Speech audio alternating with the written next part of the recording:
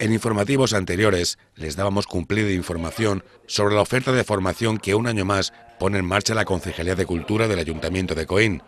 Uno de los cursos que forma parte de esta lista de talleres de formación es el de español para extranjeros, que siempre suele gozar de una buena aceptación. Nos hemos acercado hasta las instalaciones donde se imparte, en el Barranquillo de las Monjas, para conocer de manos de su monitora cómo ha comenzado este curso. Esta clase se está desarrollando muy bien, estamos muy contentos con este grupo, la verdad que se, son gente muy dinámica y muy participativa. Yo estoy muy contenta de que me hayan dado la oportunidad de estar aquí y aquí estamos disfrutando. En estos primeros días de clases, los alumnos extranjeros están aprendiendo nuestro idioma a nivel básico, con una gramática sencilla que irán ampliando según avance el curso.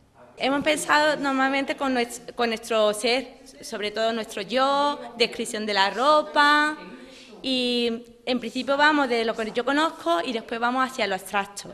Y ellos están aprendiendo mucho, sus descripciones, cómo es, si tiene el pelo largo, corto, eh, la ropa que lleva. Vamos un poquito desde el principio hasta llegar al final. Son muchos los extranjeros que residen en Coín o en municipios limítrofes que necesitan aprender nuestro idioma para poder integrarse plenamente en nuestra sociedad.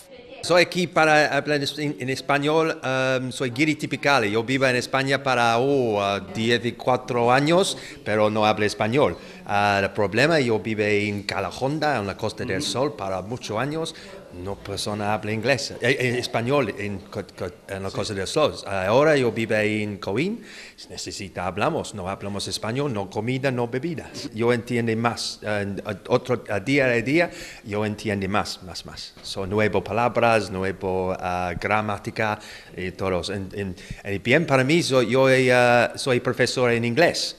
Eh, en cada estación, en la academia ahí. So eso es bien para mí, te entiende para mis estudiantes en inglés, también para mi estudiante en español. So es uh, igual, so yo entiendo más problemas para mis estudiantes.